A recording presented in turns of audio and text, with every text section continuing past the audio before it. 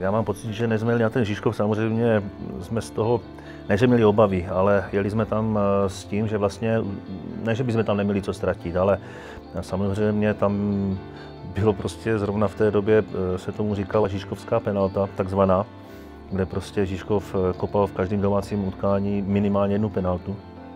To se potvrdilo i v našem případě.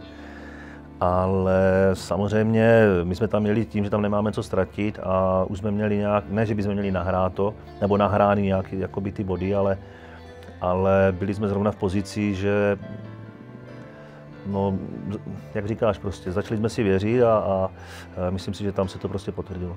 Co já si tam vybavu, tak tam byla výborná, výborná atmosféra, že tam přijelo spoustu fanoušků vlastně z Ostravy, eh, i když se hrálo prostě na Žižkově v 10-15. Samozřejmě to byl těžký zápas, ale já si myslím, že jsme dominovali, že jsme byli daleko lepší prostě na tom míči.